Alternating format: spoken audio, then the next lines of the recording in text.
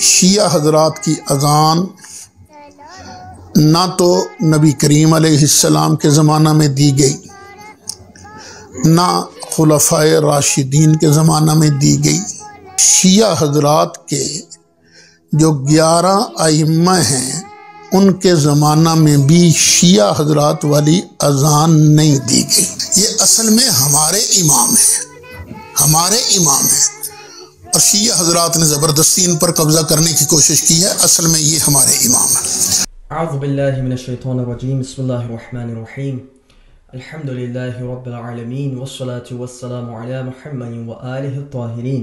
नाजरीन, मोहतरम सईद असद साहब के मुख्तलिफ़ जो एतराज़ात हैं, उनके जवाब दिए जा रहे हैं और जो अजान मज़हब शिया पर उन्होंने एतराज़ात किए थे उन्हीं में से हम कुछ उनके जुमला एतराज़ात के जवाब दे रहे हैं। उन्हीं में से एक एतराज़ उन्होंने नकल किया कि ये इमाम भी हमारे हैं, यानी अनमतनाशर जो शियों के बारह इमाम हैं, उनको अपना इमाम भी करार दिया और कहा कि ये सब के सब हमारे इमाम हैं, ये सब के सब हमारे लिए लायक इकतदा हैं।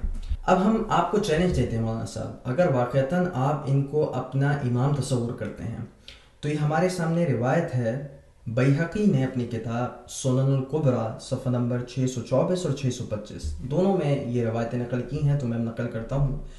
और रिवायत जो है, वो इमाम जैनआबदीन वसलाम की है, यानी चौथे इमाम।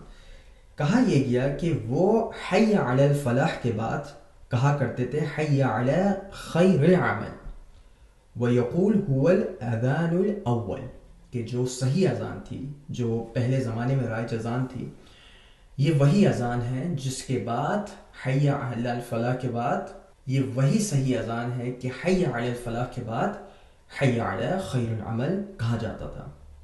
रिवायत की सनत मज़बूत है। तो नाजरीन मोहतरम, हम मौलाना साहब से सवाल करते हैं कि अगर आपका दावा है कि आप इन आइमा की इक्तदा करते हैं और आप इन आयमा को अपने लिए लायक इतबा समझते हैं तो आप भी हैया खैरमल कहना शुरू हो जाइए। चले, अगर आपको इमाम जैनलाब्दीन समझ ना आए तो आप अब्दुल्ला बिन उमर, जो उमर अबन के मशहूर मरूफ फ़र्जंद हैं, जिनसे काफ़ी सारा सुन्नी इल्मी तुरास मनकूल है, उनके बारे में भी ये है कि वकान अहयान इज़ा कौल हय्या कौल अथरहा हय्या खैर अमल कि वो कभी कभार हैया फलाह के बाद हैया खैर अमल भी अजान में कहा करते थे। तो चलें, आप हमेशा नहीं, लेकिन कभी कभी आप भी हया खैर अमल कह दिया करें मौलाना साहब। और याद रखिएगा कि ये दोनों रिवायतें बिल्कुल मोतबर संत के साथ मनकूल हैं, इसके मसून तो अब फैसला आपको करना है मौलाना साहब कि हैया खैर अमल क्या वाक़ता आप कहेंगे या नहीं कहेंगे, ये फैसला हम आप पर छोड़ते हैं।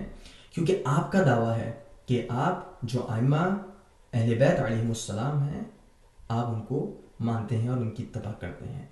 तो काश अगर आप फैसलाबाद में कभी ऐसी आसान कहें तो हमें भी एक वीडियो भेजिएगा, ताकि हम भी इस्तफ़ादा कर सकें और हम भी कह सकें कि मौलाना साहब ने कम से कम एक बात में तो अहल बैत के इमामों की लाज रखी। वसल महमद व